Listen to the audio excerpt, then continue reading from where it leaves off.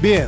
Richard, están en llamas los penales de la provincia de Buenos Aires, particularmente el de San Martín. Vamos a ver imágenes ahora mismo. Esto es el interior de la cárcel de San Martín, Servicio Penitenciario Bonaerense. Escuchen el sonido de este audio. Se están levantando los presos reclamando que les permitan volver a tener visitas presenciales, que sus familiares, sus amigos, sus eh, relaciones más cercanas puedan volver a visitarlos en la cárcel. Richard, esto que vemos está ocurriendo ahora en el penal de San Martín, está levantado también el penal de Florencio Varela, también está levantado, hay presos en los techos de la unidad de Melchor Romero, todo servicio penitenciario de la provincia de Buenos Aires, Richard. Así es, bueno, el reclamo es a propósito de la las restricciones que impone el eh, coronavirus, el COVID-19 a todos. Y bueno, en la cárcel se da de esta manera. Las visitas eh, no son eh, muy frecuentes y son escalonadas. Y bueno, a, partir del COVID lo que se ve es justamente la eliminación, por decirlo de alguna forma, la, suspensión de, esas visitas. Lo que quiere es volver a verse con los familiares, es eso. Pero la manera de reclamar, lamentablemente en las cárceles, es, de, es Fíjate, Richard, lo que está pasando ahora en el penal de San Martín, donde lo que se escuchan son los disparos a la guardia. Esto que estamos viendo es el penal de Florencio Varela, donde en este momento los presos están en los techos de la unidad. Esto, sabes bien, Richard, eh, ocurre solamente cuando los presos abandonan todavía de diálogo, de negociación y deciden ya mostrar su descontento ante todo el mundo. Estamos eh, llegando en vivo ahora. Ahí lo que estamos viendo es lo que está ocurriendo ahora en el penal de Florencio Varela, también en la cárcel. Este es otro sector de Florencio Varela. También en Melchor Romero está habiendo disturbios, revueltas, presos en los techos. Lo que ven ahora no es eh, el normal funcionamiento de un penal. Los presos no pueden caminar de esta manera libre en las cárceles. Esto es presos protestando, presos que han decidido hacer una protesta violenta. La guardia se ha replegado y están tomando algunos sectores de los penales. Hay enfrentamientos en este momento con el servicio penitenciario bonaerense. ¿Qué está pasando? Como decía Ricardo, desde marzo en la mayoría de los penales bonaerenses se suspendieron todas las visitas.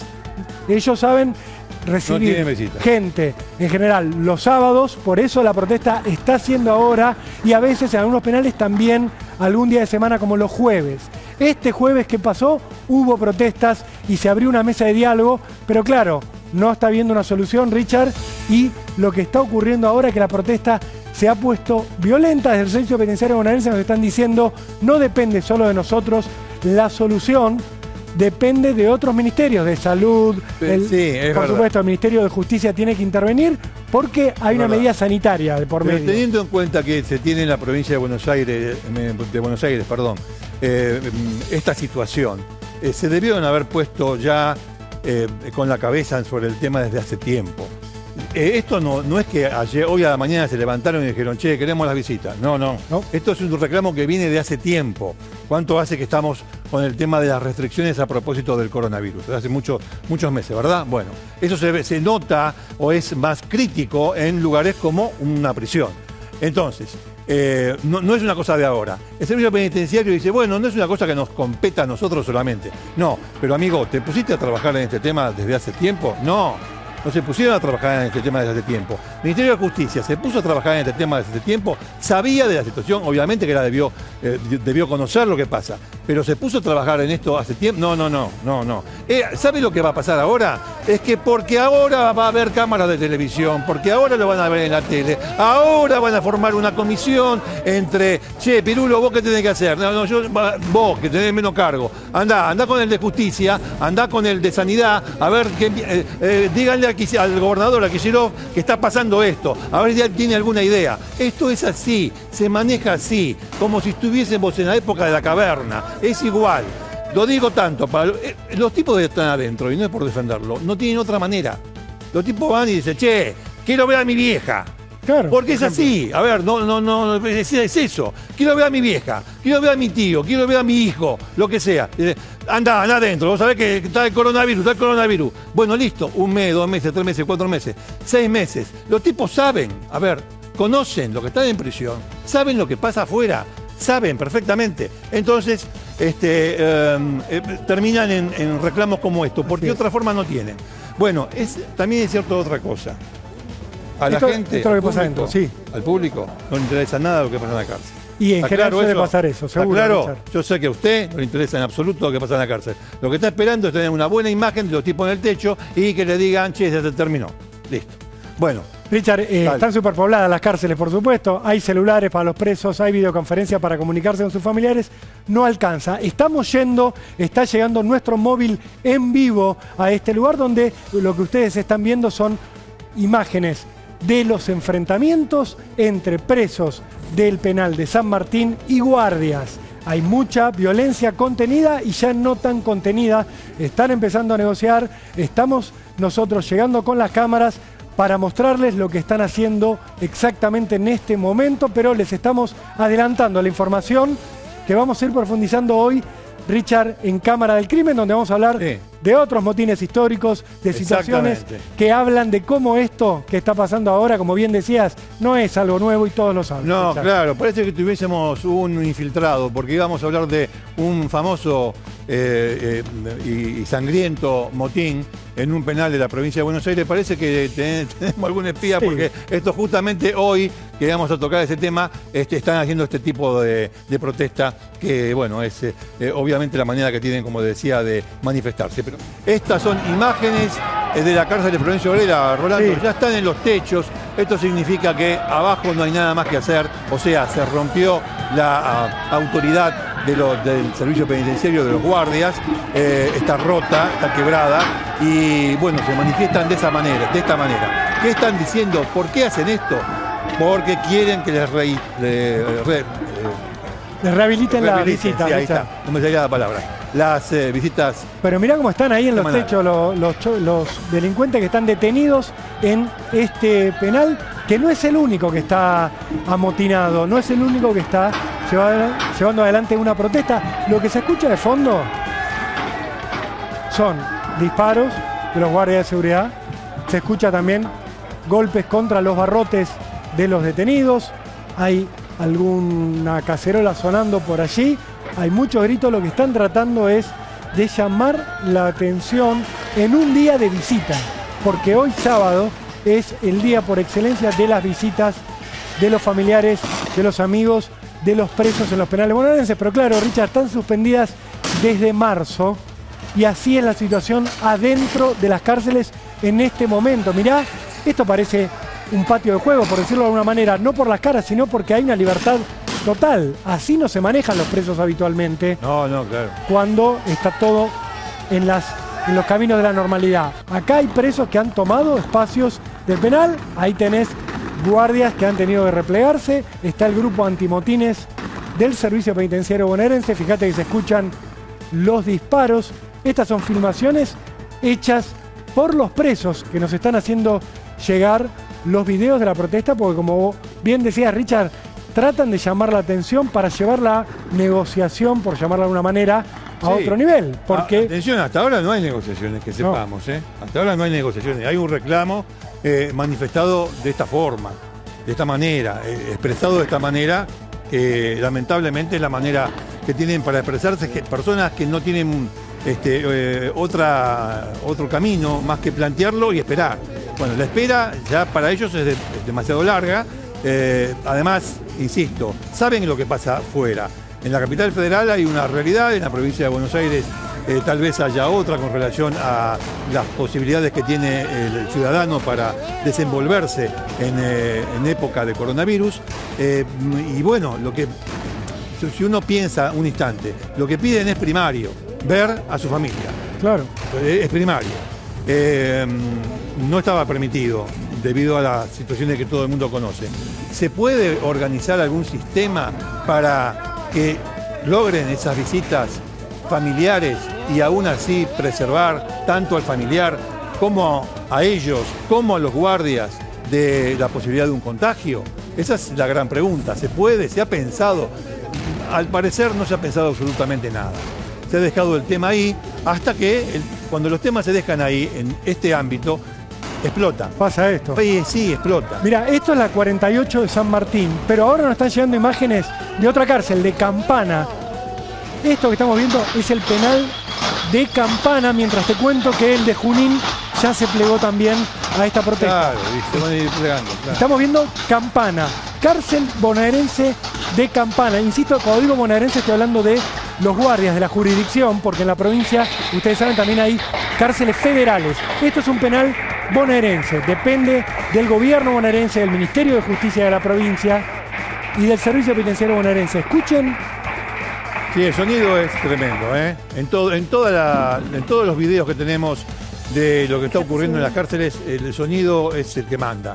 El sonido y, bueno, estas imágenes, ¿no? obviamente por esto es mucho más este, amplio, mucho más eh, este, eh, extenso en cuanto a la ocupación que han hecho de los techos que el, de, el penal de Florencio Varela.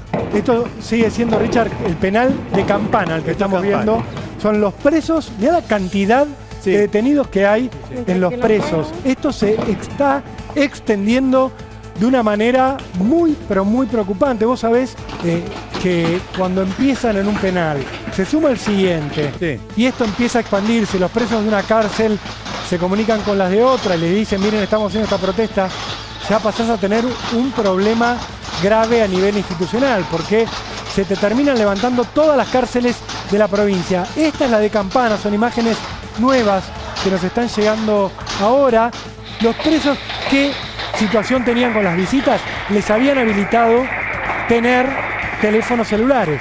Solo con WhatsApp, se suponía que no podían entrar a redes sociales para poder comunicarse con sus familiares. Así es. En algunos casos les habían dado también la posibilidad de tener teleconferencia, por decirlo de alguna manera, poder ir a una salita y ver en un monitor al familiar, al amigo con el que necesitan contactarse. Eso para los presos ya ha dejado de ser suficiente. Claro, no, sí, sí, sí. Es importante lo que vos marcabas, Richard, de los presos ven lo que pasa afuera. Obvio que Cómo se está viviendo también la cuarentena afuera de la cárcel. Eh, obviamente, y ven que hay este, algunas restricciones que ya se han eliminado. Eh, ven a la gente en, muchos casos este, concurrir a los restaurantes, este, estar eh, afuera y bueno, hasta sin barbijo. Ven, ven lo que ocurre, ven lo que va ocurriendo. y obviamente quieren lo mismo mejor dicho, no, no es que quieran lo mismo, quieren que la restricción de no ver al familiar se levante y se vuelva a la normalidad, a la normalidad, entre comillas, que hay en un penal que existía antes del, coronavirus. Pero bueno, es una cuestión de negociación, es cuestión de, yo planteo y darme una respuesta, sí, no, más o menos, lo vamos a hacer de esta manera, este, bueno, en fin. Te cuento un dato más que nos está llegando ahora. Hay algunos de los grupos de penales, de presos, que lo que están planteando es que además, mientras estamos viendo imágenes del interior de uno de los penales bonaerenses que están sumándose ya a esta hora a la protesta. Tengan en cuenta una cosa, si ustedes ven a, los, presos en el techo, lo que está pasando debajo en, los pabellones es esto. ¿eh? O sea, lo, que, pasa en los techos no significa que los que están abajo, los que están en, las celdas, en, los pabellones, estén tranquilos. No, está pasando esto. Exactamente, es muy importante lo que decís porque cuando ves que han tomado los techos es porque adentro también está habiendo descontrol. Eh, lo que quería marcarles es que algunos de los presos, algunos de los presos están pidiendo, además de que se reinstauren las visitas presenciales, que haya una compensación económica así como te lo digo, Richard, están pidiendo, hay fotos donde hay banderas de los presos donde dicen, estamos en huelga, exigimos compensación económica por el daño que les ha producido, según su visión, este romperse las visitas, este terminar con algunos ciclos de trabajo dentro de las cárceles por los cuales recibían remuneraciones. Claro, eso, eso también eh, eh, ocurría. ¿eh? Este, otra cosa que están pidiendo es que no haya represalias. Claro.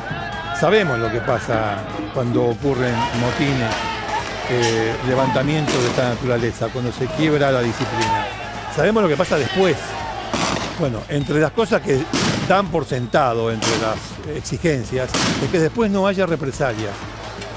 Las represalias pueden ser de múltiples maneras. Por supuesto, desde que no haya sanciones para eh, terminar encerrados en los buzones, en las celdas de castigo, hasta que no le quiten las visitas a quienes encabezaron el reclamo para que vuelvan las visitas, que no les corten eh, la posibilidad de trabajar y recibir a cambio un dinero, que no les corten las calificaciones positivas de disciplina, que son las que en última instancia les permiten anticipar las salidas o los regímenes de visitas. Lo que queremos decir con esto, vos sabés que cuando se plantea este tipo de cosas, siempre hay muchas personas que piensan, bueno, este, de, qué lado me pongo? No hay que ponerse del lado de nadie, por empezar. Hay que, a ver, frente a la información, hay que asumir una realidad.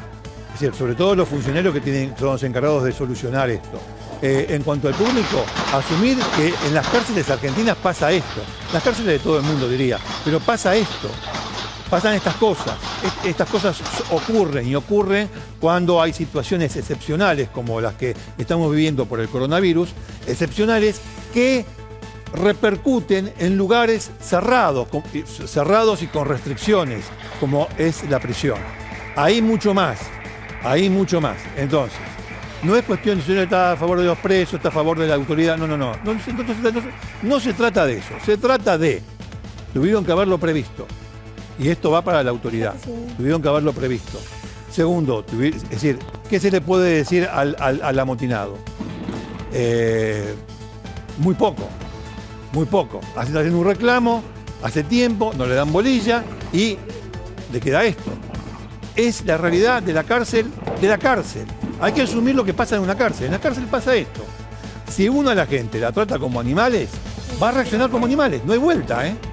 Lo que no termina de entender nunca la sociedad, Richard, es que la gente que está ahí adentro, tratada como animales, va a salir en algún momento. Y va a salir. Y vamos a convivir con ellos. Estamos siempre lo mismo, nos estamos muriendo la cola todo el tiempo. Este es el tiempo. Y todo es, el tiempo. Es uno de los grandes problemas que tiene nuestro sistema criminal, que es que nunca nos ocupamos de esto, que son personas que ya delinquieron, que le están dando al Estado una oportunidad de resocializarlos, que son hacinados, que son tratados como animales y que después van a salir en libertad peor de cómo entraron si nada se hizo. Ahí lo que estamos viendo es otra vez Florencio Varela, Richard. En este momento están en los techos, pero lo que nos está llegando es que ellos empezaron anoche con esta protesta.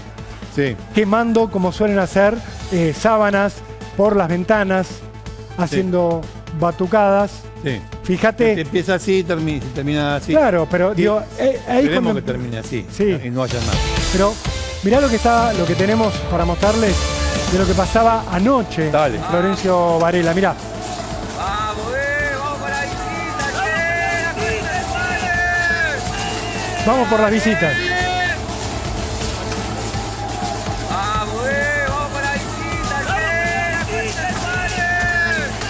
Vamos con las visitas. Vamos con las visitas. Sí, claro, ese reclamo, ese reclamo. O sea, eh, tengamos en cuenta lo siguiente. Eh, eh, la imagen, lo dice esta imagen, lo está diciendo todo, pero además las que venimos poniendo al aire, las que estamos difundiendo, nos muestran un enfrentamiento. A ver, hay enfrentamiento entre los presos y los guardiacárceles. Los disparos que escucharon no son de cevita, ¿eh? no, son de mentira. No es, que hay una, edición de esto. Es lo que está ocurriendo en este momento. Lo que usted está viendo ahora, que pasaba anoche, eh, con lo cual eh, le está dando también la información de que es un reclamo que viene de hace tiempo y que anoche comenzó a manifestarse o a exteriorizarse, si usted quiere, este, de esta manera. le decía, el enfrentamiento existe. Enfrentamiento eh, están tirando balas de goma, del otro lado le responden tirándole palos, o eh, como veíamos, lo vemos ahora, quemando un, trapo, quemando sábanas en los balcones, eh, en fin, cosas que ya hemos vivido. Y ¿saben qué? ¿Saben qué? Va a haber programas, va a haber programas, sea de tono criminal, sea de tono político, donde se va a discutir esto. ¿Y sabe que va a escuchar usted lo de siempre? Bueno, sí, es una deuda de la democracia. Las cárceles serán sanas y limpias, no para castigo, sino para rehabilitación, dice la Constitución, pero nunca lo cumplimos. Claro, no lo cumplimos porque ese gobierno, no, no lo cumplimos porque ustedes, este otro gobierno, y así todo el tiempo, y nunca solucionan nada. Es una palabra, jamás se limpian el culo, nunca, nunca.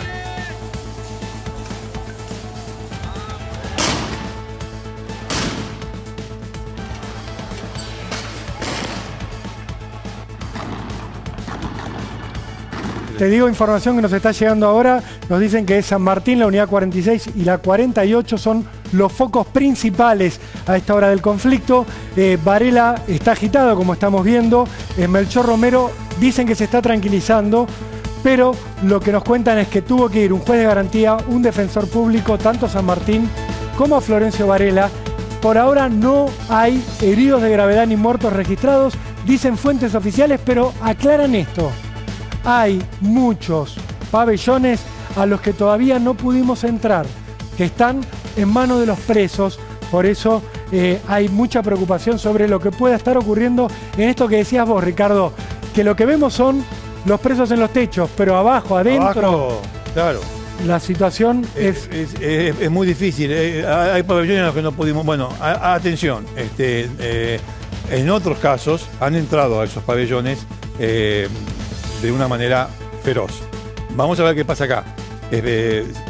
vamos a ver qué pasa acá. la verdad no se puede abrir ningún juicio. Decime. Mirá lo que estamos viendo, Richard. Esto es el penal de José León Suárez en San Martín. Uno de los que decíamos sigue la revuelta. Esto es la puerta, es nuestro móvil. Son imágenes exclusivas de TN que está en el lugar de los hechos. Allí es donde está el principal foco del conflicto con los presos a esta hora, presos que reclaman volver a tener visitas presenciales, que sus familiares, sus amigos pueden ir a verlos. En este momento ahí donde está la cámara de TN hay familiares de los presos que ya llegaron y fíjense que está la policía bonaerense, están los grupos antimotines adentro, se están moviendo distintos recursos del Estado. Ahí vemos un camión que está saliendo y estamos en comunicación, Richard, con nuestro compañero Rodrigo Alegre, que tiene más información. Rodrigo, ¿cómo estás? ¿Qué sea, Rodrigo? ¿Qué tal, Rolo? ¿Cómo le va? A ver, estamos hablando en principio que el foco más fuerte está en tres cárceles o tres unidades penitenciarias que son la 46, la 47 y la 48 de San Martín. Las tres suman en total unos 21.000 presos. Arrancó bien temprano con la cárcel eh, de Florencio Varela, la 31, justamente, Rolo, con lo que mencionábamos, un reclamo donde en principio se iban a reanudar las visitas familiares para los presos y en el día de ayer se terminó suspendiendo. Eso generó mucha molestia en algunos de los internos que iniciaron una revuelta en Florencio Varela y se empezaron a sumar distintas cárceles. La más fuerte hoy por hoy en estos momentos es la 48 en San Martín eh, y la 47. Está interviniendo el Ministerio Público Fiscal de San Martín. Hay un juez de ejecución que se acercó hasta el lugar de la localidad de San Isidro porque muchos eh, detenidos de él están ahí y ya claramente los reclamos, si bien ese es el central y es el que une el resto de los servicios el resto de las unidades que se sumaron, estoy hablando de la 41 de Campana, por ejemplo, también eh, se sumó al reclamo y hay tensión de revuelta allí, también alguna otra cárcel en la zona sur. Eh, hay ya otros reclamos que vuelven a ser similares o muy parecidos a los que vimos en el inicio de la pandemia, que tenía que ver con el coronavirus y aquellos presos que no tenían eh, sentencias, que estaban detenidos en unidades carcelarias y que pedían mejores condiciones. Pero arranca con las visitas familiares y esto. Hasta ahora no hay, por lo menos nosotros tratamos de comunicarnos en varias oportunidades con el Servicio Penitenciario bonaerense, con el Ministerio de Justicia de la Provincia de Buenos Aires, y no ha habido una comunicación oficial. Sí está interviniendo lo que vos decías, Rolo, la Policía eh, bonaerense, hablo otra vez del Ministerio, el Ministerio Público Fiscal de la localidad de San Martín y también de Florencio Varela, y obviamente esta tensión que va en aumento y que genera mucha preocupación por los internos, los agentes del servicio penitenciario que le están poniendo el cuerpo ahí adentro para tratar de calmar la situación y de los familiares. ¿no? Rodrigo, eh, te quería preguntar lo siguiente, hay versiones, eh, yo las comentaba recién, de que habría alguna víctima fatal en alguno de los penales. Esto está circulando. ¿Vos te llegó? ¿Hay alguna confirmación o desmentida eh, oficial? Porque cuando yo pregunté me dijeron no entramos a algunos pabellones todavía que están en poder de los presos. ¿Vos tenés alguna información en un sentido o en el otro? A ver, por lo menos nosotros eh, estuvimos eh, comunicándonos con eh, funcionarios judiciales de la localidad de la zona de de Varela y San Martín. En los dos lugares nos dijeron que hasta ahora ellos no tenían registro de ninguna persona fallecida ni de víctimas fatales. Sí que había heridos, sí que había heridos con personas con algún corte y algún golpe, pero también mencionaban lo mismo, que había sectores por lo menos de la cárcel que yo te mencionó, la que te mencionaba, la 48, que todavía no estaba en la situación de calma y que no habían ingresado en algunos pabellones o en algunos lugares claves que dentro de las cárceles se llaman los famosos lugares donde ponen a los presos que son quizás más violentos, que le llaman engomados, que es un lugar de reclusión donde no tienen ningún tipo de contacto y que están durante mucho tiempo ahí encerrados por mala conducta, por alguna cuestión, eso es muy normal dentro de la cárcel. Ahí a esos lugares en particular, por lo menos estas dos unidades penitenciarias que yo te menciono, eh, no habían ingresado, entonces todavía no, no sabían porque todavía seguía el clima de tensión por parte de los internos, los presos que están alojados allí. Estamos hablando de presos arriba de los techos, algunos de ellos este, golpeando directamente facas, golpeando también hierro sobre los techos, reclamando esto, ¿no? Que se reanuden las visitas familiares para los internos. O sea, están armados, porque digamos nuevamente al público que una faca es un arma. Un arma casera, con lo, que se quiera, pero no deja de ser un arma. Un arma impropia, dirán los abogados, pero no deja de ser un arma. Con, esa se, con una faca se mata, de como si fuese un arma blanca. Se mata, se corta, etc. O sea, si, si están mostrando, blandiendo facas en los techos, estamos hablando de presos, alguno de ellos, un grupo de presos que están armados. Bien, eh, eh, Rodrigo, este, entonces, eh, desde el punto de vista de la justicia, hay un juez que ha intervenido en una cárcel. Bueno, pero ¿qué, otras acciones de parte de la autoridad judicial o del gobierno se sabe que se están emprendiendo? Si es que se están emprendiendo alguna, porque por ahí todavía no han tomado ninguna, ninguna acción. Bueno, la información que nosotros tenemos, Víctor, es que están, están los funcionarios, está la justicia interviniendo en diferentes localidades. Ha hablado un juez de San Isidro que se había acercado hasta el lugar, el Ministerio Público Fiscal de San Martín, un fiscal que también se había, se había presentado.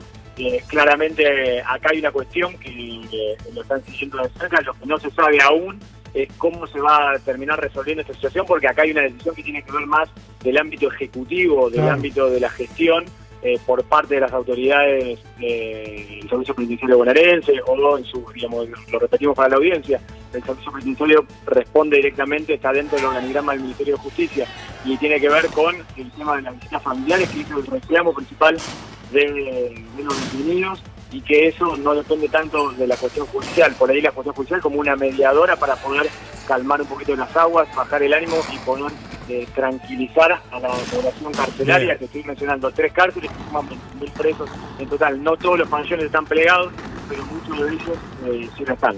Bien, bien, Rodrigo. Gracias y estamos en contacto contigo en cualquier momento. Gracias, ¿eh? Hasta luego. Hasta luego.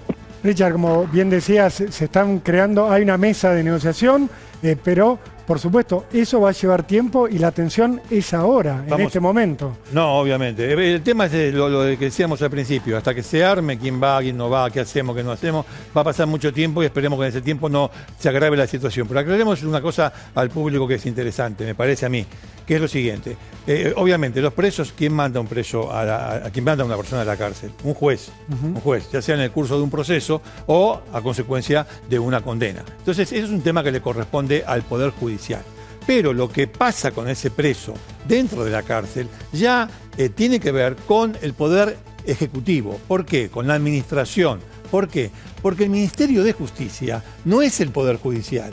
Es una pata de la administración que se encarga de colaborar con la justicia. Ahí entran el tema de los penales, el tema del tratamiento a los presos, etcétera, etcétera. Es una cuestión, es una que se encarga de la justicia. No, no, la justicia tiene que estar acá, pero también, perdón, pero también el poder ejecutivo. El guardia cárcel, ¿quién le paga al guardia cárcel? ¿El, el- el juez? No, no le paga al juez. Le paga el, el- el- el- el gobierno, el poder ejecutivo, la administración pública. Es la que le paga al guardia cárcel. En consecuencia, es una mezcla eh, el sistema carcelario donde tiene que ver la el poder judicial, sí, pero también el poder administrador o lo que nosotros mm, llamamos el poder político. Por supuesto, Richard. Bueno, imágenes de incidentes en el penal de José León Suárez, que es uno de los eh, penales que están eh, con eh, conflicto en este momento en la provincia de Buenos Aires, Rolando. Sí, Richard, en este momento estamos viendo a familiares de los presos que están adentro del penal de José León Suárez en San Martín. Es uno de los focos principales del conflicto. Los familiares están pidiendo garantías sobre Claro. el estado de salud de sus eh, parientes que están dentro de la cárcel. Están pidiendo respuestas sobre las versiones que circulan en cuanto a que podría haber alguna víctima fatal de los enfrentamientos que hubo durante todo el día entre internos y guardias que están tratando de contener los reclamos que ya a esta hora, Richard, hay en por lo menos seis penales de la provincia de Buenos Aires. Ahí donde estamos en este momento con la cámara de TN hay una tensión muy importante entre las familias de los presos los guardias, la policía que rodea el penal. Fíjate que está la infantería de la bonaerense en la puerta. Sí, sí, sí. Richard, esto por supuesto tiene que ver con la seguridad exterior que está en manos de la policía, las calles.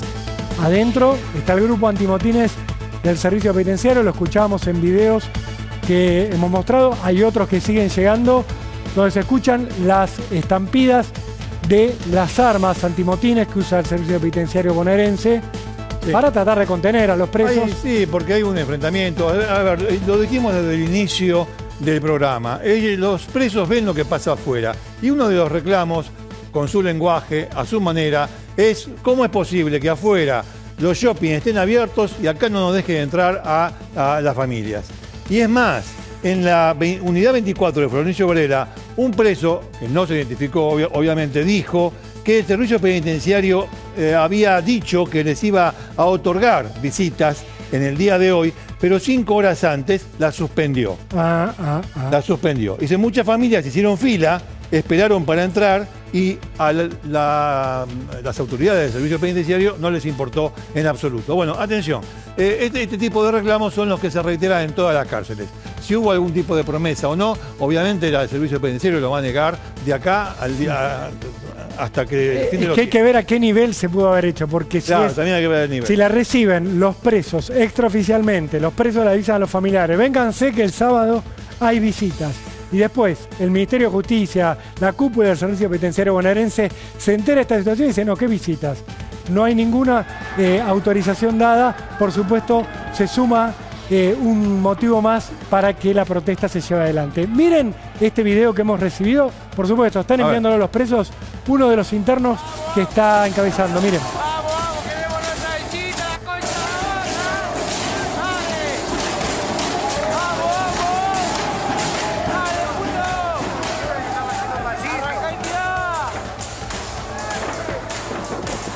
Queremos las visitas, dice.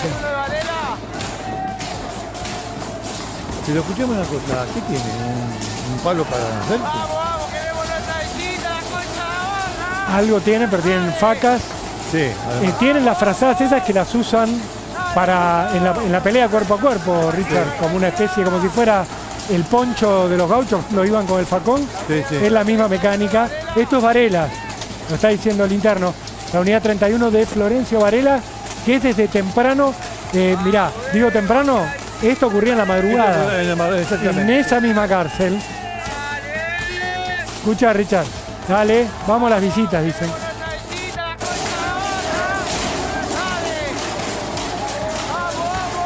En Devoto del 24 de abril, recuerden que hubo un hecho similar con presos en los eh, techos. ¿eh? y en ese momento reclamaban beneficios, salidas anticipadas por el COVID, por la pandemia. La pandemia, sí. Ahora te digo, Richard, algunos de los presos que están haciéndonos llegar los videos también hablan de queremos salir. ¿eh? ¿No? Mira, mira, en vivo ahora, A ver. San Martín. Ahí, bueno, están, eh, Son familiares de los presos estos. ahí a la. eh, eh, bueno, hay agresión mutua, ¿no? Estamos en vivo. Esto está pasando ahora en, En San este Martín, momento. Richard. En este momento, en el penal de José León Suárez. Van contra lo- la Guardia de Infantería y, bueno, estos ahí están tirando Los gases. gases, sí. Este, estos eh, los eh, repelen, los rechazan de la manera en que ustedes vieron. Familiares que eh, piden saber sobre la salud de quienes están detenidos y que también estaban, están ahí por dos razones. Una parte porque mm, pensaban que iba a haber visitas, no las hubo. Y la otra, a raíz de este levantamiento que ocurre en diversos penales, bueno, van a- o quieren conocer cuál es la situación de- del familiar que tienen detenido. Hay mucha tensión en este momento. Richard, mirá, está el GAD, el Grupo de Apoyo Departamental de la Policía Bonaerense, lo que estamos viendo. Y lo que vemos del otro lado, allí donde enfoca la cámara de TN, son familiares de detenidos. Avanza la policía en este momento, atención, porque puede haber más violencia todavía. Sí. No se están yendo del todo los familiares, se replegaron simplemente y la policía avanzó y aparece la motorizada también. Había muchas mujeres eh, también eh, cuando tiraron ese gas este, y dieron un paso para adelante, se retiraron. Ahora eh, vemos que hay una especie de avanzada. Hay algunas mujeres allí que quieren dialogar o que quieren este, solicitar algo. Pero bueno, hay mucha tensión en el lugar. Eh, las imágenes lo muestran con claridad.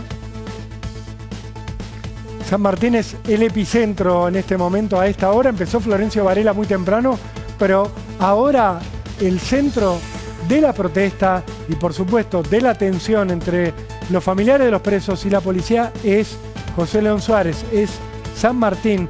De hecho, la mayoría de los videos que nos están llegando sobre lo que están exigiendo los presos, de la revuelta puertas adentro de la cárcel, son de San Martín. Ahí es donde está el centro de todas las protestas. Eh, quería agregar- momento, Richard. No, quería preguntarte, disculpame que la, la interrupción, pero en eh, la comisaría cuarta de Florencio Varela también hubo un levantamiento y mantuvieron de rehén a un policía. Sí, es cierto. Eh, luego lo liberaron a ese policía, pero la protesta también parece que se extiende, parece no, se extiende, de acuerdo con esta información, a las comisarías. Recordemos que las comisarías lamentablemente también eh, son utilizadas para alojar presos. Hay una superpoblación en el servicio penitenciario bonaerense, en la provincia, como decías, también en las comisarías hay superpoblación.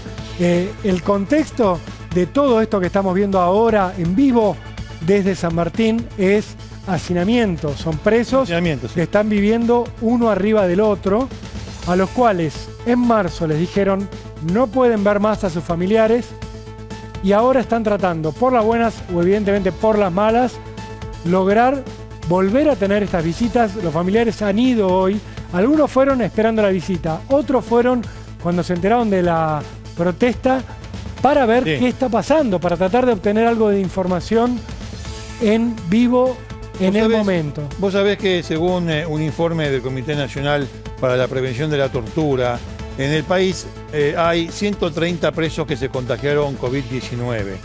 Eh, obviamente eh, que se cuentan no solo los que están en comisaría, sino también los que están en la prisión, tanto prisión como comisaría. Los números son más o menos parecidos, ¿eh? Eh, cerca de 60 y tantos en comisaría y un número similar en las prisiones. Bueno, eso para dar un- una información que tiene que ver con el marco. Acá vemos nuevamente, parece que el asunto está mm, más calmado, aunque claro, a costa de que este señor esté sufriendo o por un familiar o por efecto de, De los gases, ¿no? Que estuvieron gases, tirando, sí, también. Richard. Sí, sí, o. Porque en un momento la policía vio que avanzaban los familiares y tiró gases lacrimógenos. Son el grupo de apoyo departamental, es eh, el grupo de choque que tiene la policía bonaerense para este tipo de conflictos, eh, que han tenido que ir a pararse ahí porque los familiares no parecen Pero- dispuestos a irse, Richard, sin una Estamos- respuesta. eh, habíamos visto un- un- unos cuantos pibes, qué sé yo, pero la mayoría son mujeres, Sí, hay no mujeres. mal, y o personas grandes. Hay unos pibes, sí, hay unos, unos- unos cuantos pibes. Pero bueno, nada, son, son- son mujeres.